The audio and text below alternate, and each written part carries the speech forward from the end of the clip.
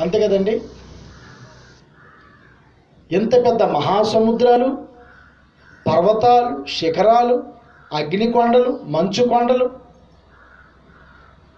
ఈ సూర్యుడు చంద్రుడు నక్షత్ర మండలాలు పంచభూతాలు గాలి రకరకాల పువ్వులు రకరకాల ఆహార వస్తువులు రకరకాల పళ్ళు రకరకాల రుచులు రకరకాల మనుష్యులు ఎంతమందిని ఇన్ని రకాలైనటువంటి అద్భుతాలు చేసిన దేవుణ్ణి ఎవరు చేసి ఉంటారని నేను ఆలోచించావా?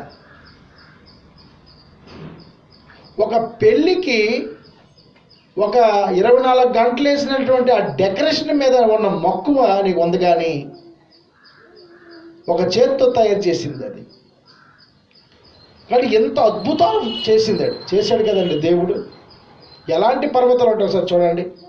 పెద్ద పెద్ద మంచు కొండలు హిమాలయ పర్వతాలు పెద్ద పెద్ద మహావృక్షాలు ఇన్ని రకాల జంతువులు ఆ జంతువులకి రకరకాల రంగులు. జేబ్రాకు చూడండి ఒక నలుపు తెలుపు కదా? ఎంత చక్కగా డిజైన్ చేశారు తెలుసా? దాన్ని చూడండి. ఒక గుర్రానికి చింతపెక్క రంగు కలరు పెయింట్ కదా?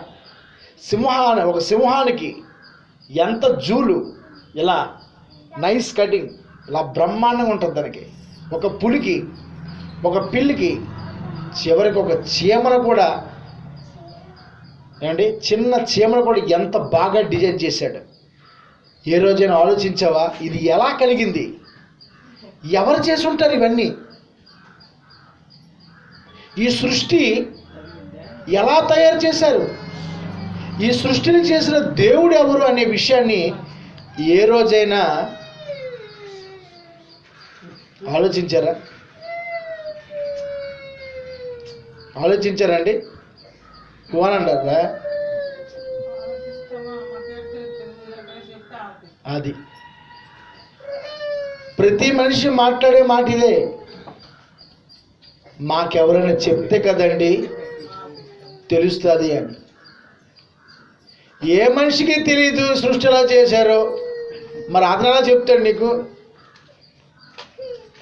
అలాగ తెలియాలి అంటే ఈ సృష్టిని చేసిన దేవుడే చెప్పాలి. ఈ సెల్ ఫోను మన చేతిలో ఉన్న సెల్ ఫోను ఇది ఎలా తయారు చేశారనంటే ఆ సెల్ ఫోన్ తయారు చేసామని అడిగితేనే వాడు చెప్తాడు. అంతే కదా? మరి ఈ సృష్టిని చేసిన దేవుడు ఆ సృష్టికర్తను అడిగితేనే చెప్తాడు. మరి మీకు గడమలో రావచ్చు. దేవుడు మరి కనబడ్డు కదా? దేవుడు మనకి ఎలా చెప్తాడండి? ఈ పాస్టర్ గారికి ఏమైనా పిచ్చి పెట్టింది ఏంటండి? ఒక మనిషికి అడ్రస్ అడిగితేనే తప్పు అడ్రస్ చెప్తాడు. మరి దేవుడు కనపడ్డ కదా? దేవుడిని ఎలా అడుగుతాం? సృష్టి ఎలా జరిగింది అని. నిజమే. అందుకు దేవుడు పరిశుద్ధాత్ముడు ప్రేరేపణ చేత ఈ బైబిల్ గ్రంథాన్ని నీకు ఇచ్చేసాడు. ఈ బైబిల్ గ్రంథాన్ని నీ చేతిలో పెట్టాడు పెట్టి అయ్యా అమ్మా నేను ఎలాగ తయారు చేశాను? దీన్ని ఎలా ఉత్పత్తి చేశాను? నేను ఎంత శక్తిమంతుణ్ణి? నేను ఎలా ఉంటాను? నేను ఎక్కడ ఉంటాను? నువ్వు నా దగ్గర రావాలంటే ఎలాగ రావాలి?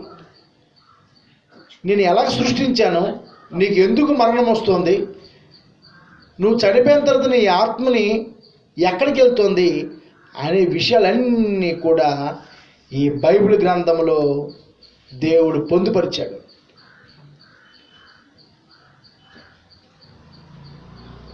ఈనాడు మనుషులందరూ మేము తల్లిదండ్రి కాపురం చేసుకుంటే మేము పుడుతున్నాం అనుకుంటున్నారు కానీ ఆ తల్లి తండ్రిలో నుండి ఎలా వచ్చామనే విషయం తల్లిదండ్రులు అడిగినా వారు చెప్పలేరు.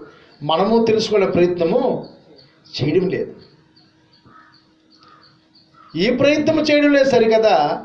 సృష్టిని ఎలా చేశాడు? సృష్టి ఎలా కలిగింది? ఏ దేవుడు చేశాడు అనే విషయం కూడా మనకి తెలియదు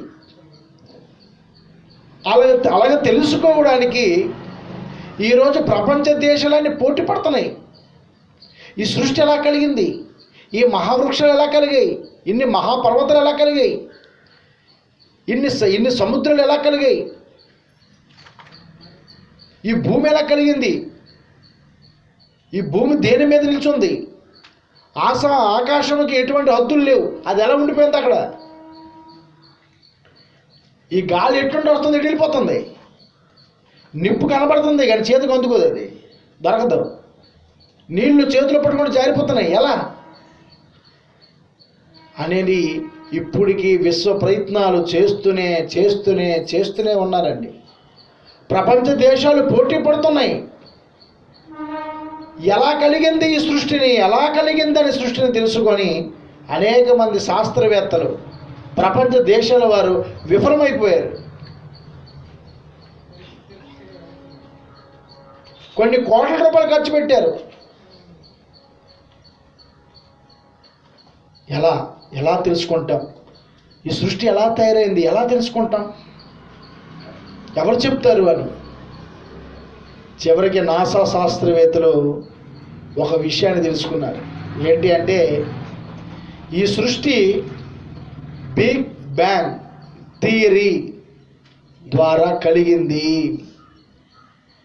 బిగ్ బ్యాంగ్ అంటే ఒక మహాశబ్దపు పేలుడు ద్వారా కలిగిందని నాసా శాస్త్రవేత్తలు నిర్ధారణ చేశారు. శబ్దం వల్ల కలిగిందట. శబ్దం వల్ల ఏం కలిగిందంటే పేలుడు వలన మహాశబ్దం కలగడం వలన ఆ పేలుడు కలగడం వలన ఈ సృష్టి అంతా కలిగింది అని. వాళ్ళు ఒక పాయింట్ దగ్గరికి వచ్చారు కానీ రెండో పాయింట్ దగ్గర ఫెయిల్ అయిపోయారు. శబ్దం వల్ల కలిగిందనే మాట ఓకే కానీ పేలుడు అనే మాటే బోటకం. ఫర్ ఎగ్జాంపుల్ ఒక ఏరియాలో ఒక బాంబు పెట్టారనుకోండి ఆ బాంబు పేలితే ఏమవుద్ది? అక్కడ ఉన్న ఇల్లు కానీ మనుషులు కానీ బైకులు కానీ కార్లు కానీ అక్కడ ఉన్న ప్రాంతం అంతా కూడా ఖచ్చితంగా పేలుడికి పేలిపోద్ది. కానీ పేలుడు వలన అక్కడ ఏమైనా కొత్త మనుషులు కొత్త కార్లు కొత్త బైకులు కొత్త సైకిళ్ళు అన్నీ వస్తాయండి. అలాగ రావు.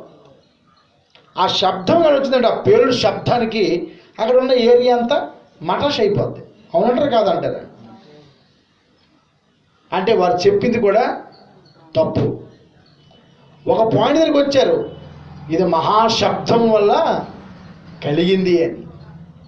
విచిత్రం ఏంటంటే ఆ నాసా శాస్త్రవేత్తలు కూడా వీళ్ళు ప్రయత్నాలు చేసి చేసి చేసి విఫలమైపోయి అనేక గ్రంథాలు చదివి చదివి చదివి విఫలమైపోయి చివరికి బైబిల్ దగ్గరికి వచ్చారో ఆ బైబిల్లో ఉన్న మాటని కాపీ కొట్టి ఇది మహాశబ్దం వల్ల కలిగింది అని పేరు పెట్టారు మహా తెలివైన వాళ్ళు. ఎవడాడు? అసాద్ స్టీఫెన్ హాకింగ్. నాసా శాస్త్ರದ అధిపతి. Stephen Hawking. హ్యాండిక్యాప్ట్ మళ్ళీ. కాలు చేతిలో సొట్టాడు. మహాశబ్దం వల్ల కలిగిందని బైబిల్ చూసి కాపీ కొట్టాడు. నిజమండి బైబిల్ దేవుడు రాసిన గ్రంథం. ఇది మత గ్రంథం కాదు. మనిషి జీవితాన్ని మార్చేది మనిషి జీవితాన్ని సరిచేసేది మనిషి ఆత్మను నరకం నుండి తప్పించేది మనిషి ఆత్మని తండ్రి అయిన దేవుని యొద్దున చూపించేది లయకారకుడిని సృష్టికారకుడిని చూపించే గ్రంథం ఏది అంటే బైబిల్ మాత్రమే. ఆ మహాశబ్దం వల్ల కలిగిందని ఏ శాస్త్రవేత్తలు అన్నారో బైబిల్లో ఆ మాట చూసి కాపీ కొట్టారు. ఆ మాట మీకు ఈరోజు చూపిస్తాను. చూడండి. ఆది కాండం ఒకటవ అధ్యాయము ఒకటవ వచ్చినాం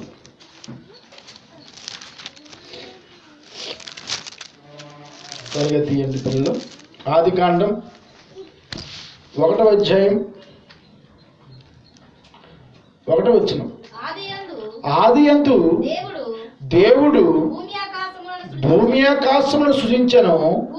భూమి నిరాకారముగాను శూన్యముగాను. ఉండెను. అంటే దేవుడు ఈ సృష్టిని చేయక మునుపు ఇక్కడ ఏముంది? శూన్యం ఉంది ఈ లోకంలో ఏముంది? శూన్యం చీకటి ఉంది.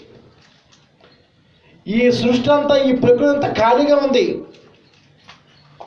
ఖాళీగా ఉందా? ఎలాంటి నిర్ధారణ చేస్తారు మీరు? అంటే మన పూర్వీకులు ఒక స్థలము కొని ఉంటారు ఎక్కడ ఒక దగ్గర.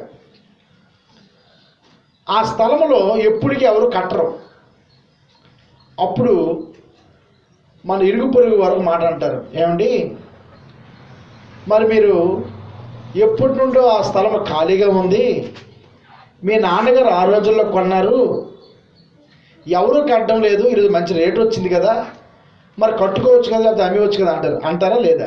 ఖాళీగా ఉన్న స్థలాన్ని. అయితే మనం ఏమంటాం లేదులేంటే చూద్దాం ఇప్పుడు ఏంటి అంత నష్టం. ఈరోజు కాకపోతే రేపైనా కట్టుకుంటాం లేకపోతే ఇది అమ్మేస్తాం అని అంటాం. అంటామా? ప్రతి ఒక్కరికి ఖాళీ స్థలాలు ఉన్నాయి. అలాగే దేవుడు ఈ సృష్టిని చేద్దామని ఆలోచన కలిగినప్పుడు ఈ భూమి ఎలా ఉందట? నిరాకారముగాను శూన్యముగాను. నిరాకారం అంటే అక్కడ ఏమీ లేదు.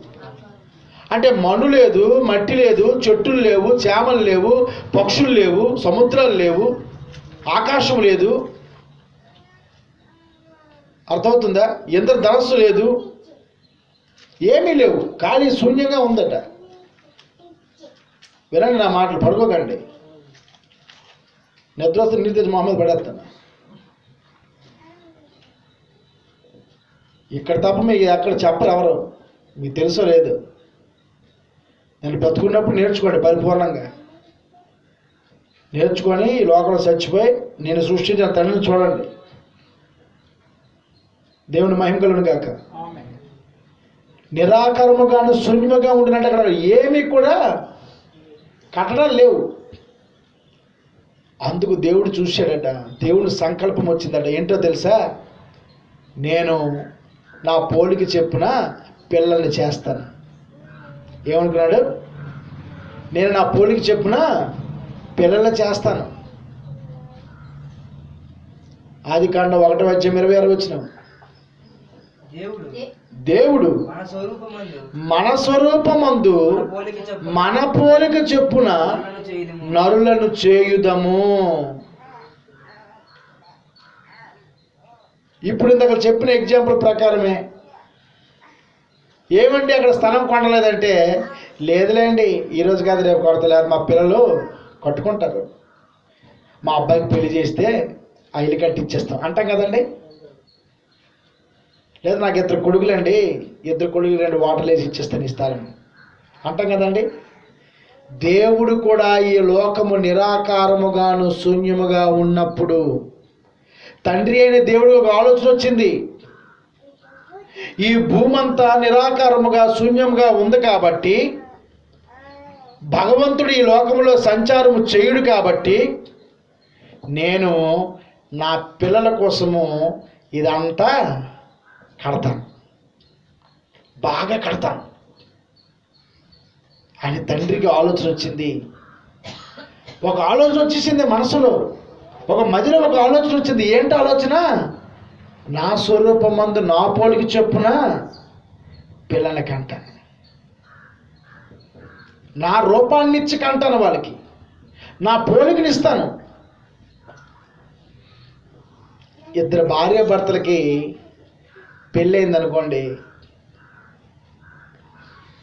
ఆ భర్తకి ఆ భార్య ఒక తీయని కబురు చెప్తుంది. ఏమండి నేను ప్రెగ్నెంట్ అయిపోతున్నా ప్రెగ్నెంట్ అయ్యానండి అన్నప్పుడు ఆ భర్త కలిగే సంతోషం. ఎంత అంత అంటారా? గొప్ప సంతోషం. అది పెళ్ళైన వరకు బాగా ఎక్స్పీరియన్స్ ఉంటుంది. రేపొద్దు నాకు అవకాశం వస్తే సంతోషం వచ్చినప్పుడు మీకు చెప్తాను. ఇది బైబిల్లో ఉన్న అనుభవాన్ని మీకు చెప్తున్నాను. ఆ సంతోషం కలిగినప్పుడు ఆ భార్య అంటది ఏమండి మీరు ఎంతో మంచివారు కదా. నాకు కానీ అబ్బాయి పుడత అచ్చం ఇలాగే పుట్టాలండి. అంటది లేదండి? ఆ భర్త అంటాడు లేదే మా అమ్మ చచ్చిపోయింది. మా అమ్మ అంటే నాకు చాలా ప్రేమ. మా అమ్మే నీ కడుపున పుట్టాలి. అంటారా లేదండి? పోలిక కావాలని కోరుకుంటున్నాడు. ఒక భర్త అంటున్నాడు మా అమ్మ పోలిక పుట్టాలి. అంతేగాని వాళ్ళే మా పప్పి ఒకటి ఉండే బుచ్చుకునే రోజు నా మూతి నాకు ఇదే నా కాలు నాకు ఇదే ఆ పప్పియే మళ్ళీ నీ కొడుకులో పుట్టాలంటాడా? అంటాడండి? అంటాడా? ఏమండి అలాగ అనకండి. మా తాతగారు ఉండేటప్పుడు మా ఇంట్లో బాగుండేదండి అది రోజుని ఎక్కడికి వెళ్తున్నా నా వెనకొచ్చేదండి. పది లీటర్ పాలు ఇచ్చేదండి. అది పుట్టాలని నాకు కోరుకోండి అంటవా? అందో మనిషి వారు ప్రేమించిన వారు పోలికలు రావాలనే కోరుకుంటారు. అవునంటారా కాదంటారా? నిజమండి. అలాగే దేవుడు కూడా అంటున్నాడు నరులైన మిమ్మల్ని నా పోలికను నా స్వరూపం మీకు ఇస్తాడ్రా. వాట్ ఎ వండర్ఫుల్ గాడ్ అలాంటి తండ్రి కడుపున పుట్టావు నీవు. ఆయన రూపం ఆయన స్వరూపం ఆయన మహిమ ఉంది నీలో. ఎంత ప్రేమ ఆయనకి మన మీద. భగవంతుడు స్వరూపం ఇది. భగవంతుడి రూపం ఇది. అది నీకు అర్థం కావడం లేదు. నాకు సప్పిడి ముక్కు వచ్చింది ఎత్తుకోవాలనుకుంటున్నావా? నో. అది దేవుని రూపం దేవుని స్వరూపం. నమ్మాల్సింది అంతే గుడ్డిగా. ఇంకొకటి మాట్లాడకూడదు అంటున్నాడు కదండి భర్త నాకు మా అమ్మ చనిపోయింది. నా పెళ్ళి చూడాలనుకుంది కానీ నా పెళ్ళి లోపే మా అమ్మ చనిపోయింది కాబట్టి నీ కడుపున మా అమ్మ పుట్టాలి. నువ్వెలాగైతే నీకు రూపం ఇచ్చిన నీ తల్లిదండ్రులని వాళ్ళు నీ పిల్లలు నీ గర్భంలోకి రాకముందు ఎలా కోరుకుంటున్నావో నీవు కూడా ఈ లోకములోకి రాక మునుపు నీ తండ్రి అయిన దేవుడు కోరుకున్నాడు. ఏంటో తెలుసా? దేవుడు చదవండి ఎంత చక్కని మాటది దేవుడు మన స్వరూపమందు మన పోలిక చొప్పున ఎవరిని చేద్దాం? నరులను చేద్దాం. ఒకరిని కాదు. నరులు అంటే అనేక మందిని చేద్దాం. ఈ భూమి ఉన్నంత వరకు ఈ సృష్టి ఉన్నంత వరకు నా బిడ్డలు చేసేస్తాను. నువ్వు మా అయితే ఎంతమందిని కాయగలవు? ఒక పది ఐదు మందిని పది మందిని పన్నెండు మంది పదిహేను మందిని కాయగలవు. అప్పుడు కాసేవారు ఆడాలి ఇప్పుడు మరి లేదు అంత జారిపోయి తుస్సు. ఒక పిల్లడితో సరే నాకు ఓపిక లేదలా అమ్మ. ఎందుకు చెప్పు? పేలకి డబ్బాలు పెడితే ఖాళీ కడుపు ఖాళీ అయిపోద్ది. అప్పుడు రాగి సరిగలు కదా ఆడవాళ్ళు నేను కాసేస్తానండి మీదే లేట్ అన్నారు అప్పుడు. ఎందుకంటే దేవుడు దేవునికి అనేక మంది పిల్లలు కావాలండి. మీరు అనుకుంటున్నారు మేము కన్నామని పిల్లల్ని? అంత సీన్ లేదు మీకు. దేవుడు కన్నాడు ఈ ప్రపంచ జనాభా అంతా ఏడు వందల యాభై కోట్ల మంది కన్నది. ఆ మహానుభావుడే నీవు కాదు. నువ్వు అనుకున్నా ఇలా తొమ్మిది మాసాలు కష్టపడ్డాను వాకింగ్కి వెళ్ళాను మందులు వేసానని. అంత సీన్ లేదు. ఆ బొడ్డోడు ఆ బొడ్డుదో ఎప్పుడు నీ కడుపులో పడితే నీకే తేలుతావు నువ్వు ఎప్పుడు కాయిస్తావు కాయిస్తావా ఇప్పుడు చెప్పండి నిజంగా గుడి మీద చేసుకొని నేను కాశానండి నా పిల్లని అనగలవు ఇప్పుడు? ఆ బిడ్డ ఎప్పుడు పడిందో నీకు తెలియనప్పుడు నువ్వు ఎప్పుడు కాయిస్తావు సృష్టి లైకారకుడు వేశాడు నీలో.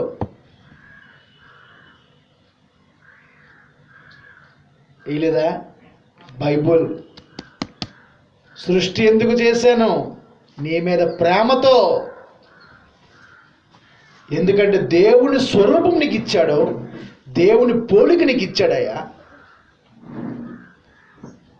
ఇచ్చాడు.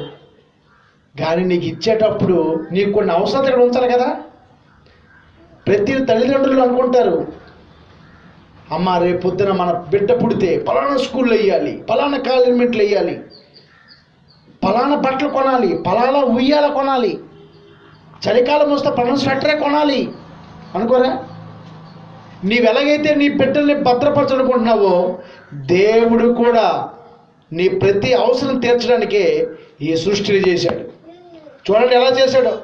ఆది కాండం ఒకటో అధ్యాయం మొదటిగా ఏం చేశాడో చూడండి. మూడో దేవుడు దేవుడు వెలుగు కమ్మని పలుకగా వెలుగు కలిగిన. దేవుడి మహిమ కలుగును గాక. మొట్టమొదటిగా నా బిడ్డ ఈ లోకములోకి వస్తే చీకట్లో ఉండకూడదు. వెలుగు చూడాలి అన్నాడు. వెలుగునిచ్చాడు. దాదే సూర్యుడు. ఈ పుట్టగనక ఏమంటలేదా భయమేస్తుంది నీకు. అమ్మో నా బిడ్డ చీకట్లో ఉండకూడదు. వెలుగు. ఏమన్నాడు చూడండి? దేవుడు వెలుగు కలగ కలగమని పలుకగా పలుకగా అంటే శబ్దము. ఇప్పుడు నేను మాట్లాడుతున్నాను కదా నీ మాటలు. ఇలా మాట్లాడితే చిన్న మాట. కానీ ఇలా మైకులో పెడితే ఈ మైకు నుండి ఈ వైర్లో నా వాయిస్ రాగిళ్ళి స్పీకర్లోకి వెళ్ళి ఇక్కడ నుండి గలలోకి వెళ్తుంది. ఇప్పుడు ఏ వినపడుతుంది శబ్దము. ఈ శబ్దం దేని వల్ల వచ్చింది? మాట వలన. ఏ మాట? ఎవరు ఎవరు మాట్లాడినారు ఇప్పుడు నాలో? దేవుని మాటలు. దెయ్యం మాట చెప్తున్నాను ఏంటి నేను? నా మాట చెప్తున్నా దేవుని మాట. అంతే కదా? ఈ మాట్లాడుతుంటే మీకు వినసొంపుగా ఉందా లేదా? చెప్పండి అదా దేవుని మాట. ఈ మాటలు ఎంతవరకు వెళ్ళిపోతున్నాయి. దేవుడు కూడా ఆజ్ఞించాడు. ఈ భూమి నిరాకారముగాను శూన్యంగా ఉండేటప్పుడు చెప్పాడు ఈ వెలుగు కలుగు. అంతే ఆజ్ఞ. వెలుగు కలుగుగా వెలుగు కలుగు కమ్మని పలుకుగా వెలుగు కలిగెను. నాసవరు పెట్టింది అదే శబ్దం. వస్తుందా లేదా శబ్దం ఇది? దేవుని మాట వలన కలిగింది అది శబ్దం. చూడండి రెండవది ఏం చేశాడు? రెండవది వెలుగు మంచిదైనట్టు దేవుడు చూచెను దేవుడు వెలుగును చీకటిని వేరుపరచను. మొదటగా వెలుగును చేశాడు రెండు చీకటిని చేశాడు. ఆయన మాట ద్వారా చేశాడు శబ్దం ద్వారా చేశాడు. శబ్దం అండి. తెల్లవారంతా పని చేయి. రాత్రిపూట పడుకో. నువ్వు పడుకోనన్నా నీకు నిద్ర వస్తుంది. ఏ నేను చాలా బలవంతున్నాయ్యా పడుకోను అంత సీన్లే ఈ కనురెప్పలు చాలా పలాచుడివి కానీ ఆ ఊరుకో నిద్రపోస్తాయి. దేవుడికి తెలుసు. ఎందుకంటే నువ్వు ఆయన పోలిక ఆయన స్వరూపం నీకు ఇచ్చాడు. ఇంకా చూడండి. దేవుడు దేవుడు వెలుగునకు పగలనియు చీకటికి రాత్రనియు పేరు పెట్టాను. రెండు పేరు పెట్టాడండి. ఆ తర్వాత ఏం చేశాడు? మరియు దేవుడు జలముల మధ్యన ఒక విశాలము కలిగి ఆ జలములను ఈ జలములను వేరుపరచును కాకని పలికెను. ఈ లోకమంతట నీరుతో ఉండిపోయింది. వేరుపరిచేశాడు. సముద్రానికి ఉప్పిచ్చాడు. మంచి నీరంతా భూమిలో ఉంచాడు. కాలువల ద్వారా సరస్సులని నదులు ఉంచాడు. ఆహ్లాదంగా. ఇంకలాగా మీరు చదువుకోండి. దేవుడు సృష్టి ఎలా చేశాడో పరిపూర్ణంగా ఉంటుంది దేవుని పిల్లలారా. ఇవన్నీ ఎందుకు చేశాడో తెలుసా? నీవి లోకంలో ఏ ఇబ్బంది పడకూడదని. నీకు శాశ్వతంగా చీకటి ఉంటే నువ్వు పని చేయలేవు. ఎక్కడికి వెళ్ళలేవు ఎక్కడ తిరగలేవు. అందుకు తెల్లవారు పగలుంచాడు రాత్రి చీకటించాడు. చూడు మళ్ళీ ఇంకేం చేశాడు? పది. దేవుడు ఆరిన్నేలకు భూమి అని పేరు పెట్టాను జలరాశికి ఆయన సముద్రం అని పేరు పెట్టాను. పన్నెండు. పదకొండు. దేవుడు గడ్డిని విత్తనములిచ్చు చెట్లను భూమి మీద తమ తమ జాతి ప్రకారం తమలో విత్తనము గల ఫలమునిచ్చు ఫలవృక్షములను భూమి మీద మొలిపించును గాక అని పలుకగా ఆ ప్రకారం ఆయను నీకోసం మంచి నేలని గడ్డి నేలని మహావృక్షాలను నువ్వు తినుటకు సమస్తము ఆహారము గల చెట్లు నీకు ఇచ్చాడండి. దేవుడు సంకల్పంలో నీవు ఉన్నావు.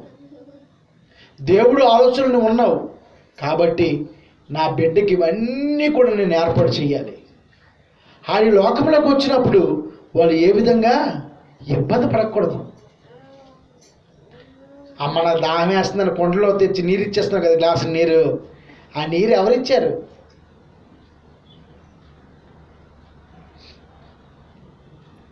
ఆలోచించే విరోజన భూమి తవ్విది వచ్చేస్తున్నాయి. అవును. కొంతమంది తవ్విది కూడా నీరు రావడం లేదు. వస్తున్నాయి. ఎన్నో బోర్లు ఫెయిల్ అయిపోతున్నాయి. దేవుని పిల్లలారా ఈ సృష్టి దేవుడు చేశాడు. ఎందుకో తెలుసా? నీ కొరకు నా కొరకు. ఎందుకంటే మనము ఆయన పోలికలో ఆయన స్వరూపంలో ఉన్నాం. ఆయన పోలికలో ఉన్నాం మనం. ఆయన స్వరూపంలో ఉన్నాం. ఈరోజు చాలామంది ఆయన పోలికంటే ఊరుకోండి మనం దేవుని పోలికేంటి అదే నువ్వు పుల్లో కొంటున్నాను వా గజలు బొజలు అయిపోతాయి. ఒరే నువ్వు దేవుడు పెట్టేవారు అంటే? మనం దేవుడు పెట్టండి పిచ్చోళ్ళు. దేవుడు ఉండొచ్చు నీవు దేవుడివే. నువ్వు ఆయన పోలిక ఆయన స్వరూపం అంటున్నాడు ఆయన. ఈ సృష్టిని చేసింది దేవుడు. ఎందుకు చేశాడో తెలుసా? ఇక్కడ అన్నీ అనుభవించాలని. ఒకటి కాదు. ఎన్ని రకాల పళ్ళు ఉంచాడు ఎన్ని రకాల ఏమండి? జంతువులు ఇచ్చాడు ఎన్ని రకాల చేపలు ఇచ్చాడు తెల్లవారు నేను మా వంశీ చేపల బజార్కి వెళ్తే వాడు అంటాడు మాయ ఏమిటిది? ఎన్ని రకాల? ఒక రకాల మాంసం ఇంకొక రకానికి చూస్తే దాని రుచి వేరు దీని రుచి వేరు. ఎన్ని రకాలు? అటువంటి దేవుడిని ఏ రోజున ఈ సృష్టిని చేసిన దేవుడు ఎవరో తెలుసుకున్నావా? తెలుసుకోలేదు. అజ్ఞానంలో ఉన్నావు నీవు. మనుషులు రాసిన పుస్తకాలు చదువుతున్నావు కానీ దేవుడు రాసిన పుస్తకాలు మాత్రం నువ్వు చదవడం లేదు. ఎంత దౌర్భాగ్యం. తండ్రి ఎంత బాధపడుతుంటాడు. తన రూపం ఇచ్చి స్వరూపం ఇచ్చి ఈ లోకములో సకల సంపదలు ఇచ్చి నేను కష్టపడతాను కష్టపడతాను అంటున్నావు కదా. నీలో శక్తి నింపుతుంది ఎవరు ఆలోచించావా? ఎవరు నింపుతున్నారు వచ్చింది నీకు ఈ శక్తి ఎలా వస్తుంది? ఎంతమందికి శక్తి అలగిస్తున్నాడు ఒరే ఇది ఎత్తురా అంటే ఇది నా వల్ల కాదురా. ఇది చాలా బరువుగా ఉంది. ఇది ఎత్తాలంటే కొంచెం బలం ఉండాలి అంటావు కదా? ఆ ఎత్తినప్పుడు ఆ శక్తి నీకు ఎవరిస్తున్నారు ఆలోచించావా? నువ్వు అనుకుంటున్నావా? నా కండ నా దండ నా భుజమని అంత సీన్ లేదు నీకు. ఆ కండలో ఆ దుమ్ముల్లో ఆ నరాల్లో ఆ కీలుల్లో ఆయన పెట్టాడయ్యా బలం. ఇంతమంది జనాభాకి ఆయన ఇస్తున్నాడు ప్రతిరోజు శక్తి. ఆ శక్తి ఇస్తున్నాడు కాబట్టి ఆ నిత్య శక్తి ఉంటుంది కాబట్టి ఈరోజు ఆ శక్తిని నువ్వు నీ స్వప్రయోజనాలకు వాడుకుంటున్నావు. చక్కగా పండు తిండ్రా రోజు ఎంత స్పూన్ రక్తం వస్తుందంటే సారా కొట్టుకెళ్ళి అది వేసుకుని ఉన్న రక్తాన్ని పలసం చేసుకుంటున్నావు. అవునా కాదు? ఒరా చక్కని ఆకుకూరలు తినరా? నీకు కళ్ళు బాగా కనబడతారంటే? అండి సారం తాగుతున్నాడు. కైలు తింటున్నాడు. ఆయన పోలికని స్వరూపాన్ని ఎంత నీచంగా వాడుకుంటున్నావు ఈరోజు?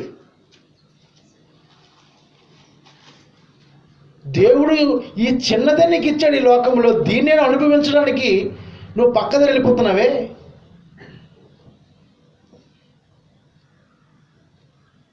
ఎంత దారుణం. సృష్టి చేసిన దేవుణ్ణి శాస్త్రవేత్తలు చెప్పాయి శాస్త్రవేత్తలు చెప్పారు బాబు ఇది బిగ్ బ్యాంగ్ థియరీ వల్ల కలిగింది మహాశబ్దం వల్ల కలిగిందని. ఆ మాట బైబిల్ చూసి కాపీ కొట్టింది వాళ్ళు. మరి ఆ శబ్దం అనే మాట బైబిల్లో మొదలు నమ్మావా? ఆయనే దేవుడని నమ్మలే. ఎంత దారుణం దేవుని పిల్లలారా. ఇవన్నీ ఆయనకి చాలా చిన్న చిన్న ఆయన దృష్టిలో ఈ ప్రకృతి చాలా చిన్నదండి పని.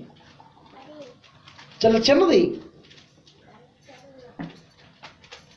ఇప్పుడు మనకు చిన్న సమస్య వచ్చింది అనుకోండి ఆ సమస్య మీద మనం చాలా ఇబ్బంది పడుతుంటాం. తప్పులు పడుతుంటాం. ఏటైపోద్ది ఏటైపోద్ది అని. ఒక అధికారిని కలిసినప్పుడు ఆ అధికారి అంటాడు ఎందుకు ఎంత టెన్షన్ పడుతున్నావు? ఇది నాకు పెద్ద పని కాదు చాలా చిన్న పని అంట అంటాడు ఆయన. అంటే ఆయన దృష్టిలో అది చాలా చిన్న పని. ఇది నిన్ను తయారు చేయడం కానీ ఈ సృష్టిని తయారు చేయడం ఆయన చాలా చిన్న పని అట ఆయనకి. కానీ అన్నిటికంటే పెద్ద పని ఏడో చెప్పనా? ఆయనలా మంచిగా బ్రతకమని నీతిమంతుడిగా బ్రతకమని పరిశుద్ధులుగా బ్రతకమని పాపం లేకుండా బ్రతకమని అంటున్నాడు. అది నీకు పెద్ద పని అయిపోయింది. ఆయన సృష్టి చేయడం అంటే చాలా చిన్న పని అండి చాలా చిన్న పని అంట. ఒకసారి చూడండి ఆ మాట ఏంటంటారు యోగు గ్రంథం ఇరవై ఆరు పద్నాలుగు.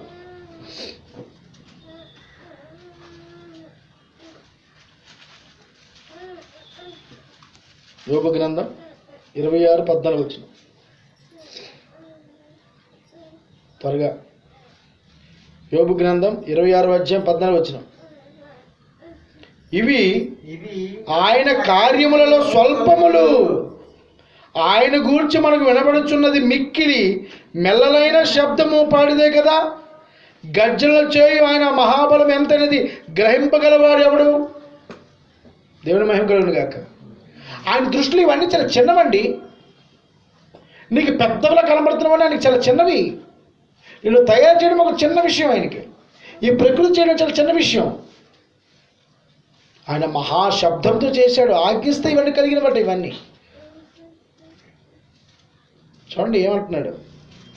ఇవి ఆయన కార్యములలో స్వల్పములో. చాలా చిన్న విషయం. ఇందులో మీకు చెప్పాను కదా ఒక అధికారిని కలిసినప్పుడు ఒక వ్యక్తికి చాలా టెన్షన్ ఉంటాడు. సరే ఎలాగైనా నీ పని చేసి పెట్టండి. ఎలాగైనా నాకు చేసి పెట్టండి ప్లీజ్ అండి. ఇది అవ్వకపోతే నేను ఇబ్బంది పడతానని అంటే ఊరికే ఏం కాదు నేను చేసి పెడతాను కదా. ఎందుకంటే ఆయనకి అధికారం ఉంది ఏదైనా చేయగలడు. అది చేసినప్పుడు ఆ వ్యక్తికి అనిపిస్తుంది పోన్లే అతను చేసాడండి వెళ్ళినందుకు అంటారు కదండి. అలాగే దేవుడు కూడా నీ విషయము చాలా చిన్నది. అది నీకు అర్థం కాదు ఎందుకు అర్థం కాడదంటే సృష్టికర్త ఎవరో తెలియదు ఈ సృష్టిని ఎవరి కోసం చేశాడో తెలియదు మనం ఎక్కడి నుండి వచ్చామో తెలియదు ఇవన్నీ తెలియకపోవడం వల్ల నీకు టెన్షన్ వస్తుంది. ఆలోచన వచ్చేస్తుంది. ఏమైపోద్దో ఏమైపోద్దో ఏమైపోద్దో ఏమైపోద్దో. ఆయన ఏమంటున్నాడు? ఇవి ఆయన కార్యములలో స్వల్పములట. స్వల్పములు. ఏ ఎంత నాకు చాలా ఈజీరా మా వంశీ పాట పాడమని అనుకోండి. నాన్న ఏటో చాలా కష్టం అంటే ఏ ఊరుకోమ్మా. చాలా సింపుల్ నాకు ఇది. అంటాడా? అంట. అంటాడా? ఈజీగా అంటాడు. ఎందుకంటే ప్రాక్టీస్ అయిపోయింది వీడికి. ఏ పాటిస్తాను త్రినది గారు మనం ఒక విషయం మీద అలా గ్రైండింగ్కి వెళ్ళాలంటే ఊరుకొండ గారు గ్రైండింగ్ మనకు లెక్క చిన్న పని నేను చేసి పెట్టేస్తాను. అంటారా అంటారా? ఆ ఊరుకొండ చాలా ఈజీ అండి. ఏరా వంద కోళ్ళు కొట్టాలంట జగదీష్ గారు ఏం చేద్దానంటే ఆ ఊరుకోండి అది ఎంత పని మనకి. నాకు ఇవ్వడం రెండు గంటల పడపలు ఆడించేస్తాను అంటారా అంటారండి అంటే ఒక మనిషి ఒక కార్యం చేస్తే చాలా ఈజీ అన్నప్పుడు సర్వ సృష్టికర్త అయిన దేవునికి నీకు వచ్చిన సమస్య కానీ ఇవన్నీ ఏంటి? చాలా చిన్నవి. చిన్న స్వల్పములు అన్నాడు. స్వల్పం అంటే చాలా చిన్నది. నువ్వు మదన పడిపోతున్నావు. ఏటైపోద్దండి ఎందుకంటే నీ మనసు అక్కడ లేదు. నీ మనసు ఎక్కడుంది నీ మనసు ఎక్కడున్నంత వరకు నీకు ఆ కోరిక కానీ ఆ సమస్య కానీ చాలా పెద్దదిలా కనబడుతుంది. దేవుని మహిమ కలుగును గాక. ఎంత గొప్ప పర్వతాలు శిఖరాలు ఆకాశ మహాకాశములు ప్రపంచం నిర్మించిన దేవుడు నిన్ను సృష్టించి తరతరాలు తరతరాలు తరతరాలు నీ కుటుంబాన్ని పోషించి శక్తినిస్తే చాలా స్వల్పం రా నాకు అది. సింపుల్. అది నీకు భారం అనుకుంటున్నాను. నువ్వు ఎందుకంటే నీ భారం నా మీద మాపడం లేదు. నీ సమస్యని నా సమస్యగా నువ్వు చెప్పడం లేదు. అడుగుతున్నావు? అనుమానం. దేవా నా బిడ్డను బాగా చూడు. బయటికి వెళ్ళిన వెంటనే మొక్కిన కానీ బాగు చేస్తాడు చేయడు. పుస్ అయిపోయింది అక్కడ ఒక అధికారి దగ్గరికి వెళ్ళి సరే పని చేసి పెట్టడం తర్వాత బయటికి వెళ్ళి వాళ్ళ అనుచరులతో ఇతను చేస్తాడు చేయడు అన్నా ఒకటి చెప్పడా సార్ అదేంటంటే ఆవిడ వచ్చింది రోజు వస్తుంది కానీ మీరు శాస్త్రం అనుమాన పడుతున్నారు అనుకుంటాడు ఇలా ఉందా అది పక్కన పడే అంట ఫైల్ తీసి పక్కన పడి మన మీద నమ్మకం మనకెందుకయ్యా చేస్తావు పక్కన పడి అంటాడు అండి? అంటాడంట అంటాడంట అంటాడు. దేవుడు కూడా అదే అంటాడు. ఎందుకు వస్తుందిరా నీకు అనుమానం? ఎందుకు వస్తుందమ్మా నీకు అనుమానం అంటే నువ్వు దేవుడు చేసిన ఈ మహాకార్యాన్ని నమ్మనప్పుడు ఆయన స్వరూపం ఆయన పోలుకున్నదని నమ్మనప్పుడు మరి దీన్ని ఇంకేమో నమ్ముతావు నువ్వు? దేవుడు అంత సృష్టి చేశాడా? ఎందుకు వస్తుంది నీకు అనుమానం? ఇక్కడ దేవుని పొరుగులో దేవుని ఉన్నానా? ఎందుకు వస్తుంది నీకు మనం అవి స్వల్పములు అంటున్నాడు. అంటే నీకు దేవుని మీద నమ్మకము లేదు. ఆయన అందుకే అంటున్నాడు ఆ స్వల్పమాన్ని బట్టి ఆయన గూర్చి మనకు వినబడుచున్నది మిక్కిలి మెల్లనైన శబ్దము పాటిదే కదా. గర్జనలు చేయు ఆయన మహాబలము ఎంతనది గ్రహింపగలవాడెవడో. ఎవడికి తెలుసు దేవుడు అని? ఎవరికి తెలుసు దేవుడు ఎక్కడున్నాడని? అలాగ తెలియాలంటే బైబిల్ చదవాలి. ఈనాడు చాలామంది అనుకుంటున్నారు నాకు అన్నీ తెలుసండి అన్నీ తెలుసండి. దేవుడి గురించి ఎవరికి తెలియదండి. నాకు నేను అసలు చెప్పాలంటే నేను తెలుసుకుంది ఇప్పటికి ఒక టెన్ పర్సెంటే. ఇంకా నైంటీ పర్సెంట్ నేను తెలుసుకోవాలి. ఇలాగ నేను తెలుసుకోవాలని నా జీవితకాలం సరిపోదు అనిపిస్తుంది నాకు ఇప్పుడు. తెలుసుకోలేను. ఏ తెలుసుకున్నావా? ఈ సృష్టిని ఎలా చేశాడు? నన్ను ఎలా చేశాడు? ఈ పిల్లలందరూ ఎలా వస్తున్నారు? ఇంత ఆహారం ఎలా వస్తుంది? ఆకాశ పక్షులకు ఆహారం ఎలా పెడుతున్నాడు? జంతువులకు ఎలా పెడుతున్నాడు? సీమకి ఎలా పెడుతున్నాడు? భూమికి ఆహారం ఎలా పెడుతున్నాడు సముద్రానికి గోడలా నిర్మించాడు. ఈ గాలి ఎక్కడి వస్తుంది? ఏదైనా ఆలోచించావా? ఊహించావా? అచ్చే తిన్నామా? పడుకున్నామా? తెల్లారిందా? ఇదే మానవ చరిత్ర. మానవ జీవితం అంతా దీని మీద ఆధారపడి ఉంది తిన్నామా? పడుకున్నామా? తెల్లారిందా? నేను నా కుటుంబం క్షేమంగా ఉంటే చాలు. పక్కవాడి పోయినా ఏం పర్వాలేదు. దేవుని పిల్లలారా ఆలోచించు. ఈ ప్రపంచంలన్నీ కూడా దేవుని మాట చేత దేవుని శబ్దం చేత దేవుని వాక్యం చేత కలిగిందని బైబిల్ చెప్తోంది. అలాంటి గొప్ప దేవుణ్ణి పొందుకున్న నీవు నీవు ఈరోజు ఎలా ఉన్నావు? హిబ్రిల్ రాసిన పత్రిక పదకొండవ అధ్యాయం మూడు వచ్చిన చూడండి. హిబ్రిల్ రాసిన పత్రిక పదకొండవ అధ్యాయం మూడు వచ్చిన త్వరగా తీసేయండి.